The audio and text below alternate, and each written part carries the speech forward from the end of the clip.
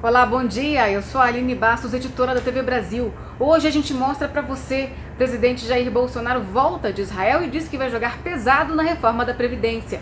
E o ministro da Economia, Paulo Guedes, vai hoje à Câmara dos Deputados para debater o assunto. E mais, no Rio de Janeiro, vereadores abrem processo de impeachment contra o prefeito Marcelo Crivella.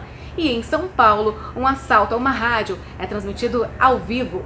Essas e outras notícias você confere ao longo do dia durante a programação da EBC, a Empresa Brasil de Comunicação. Tchau!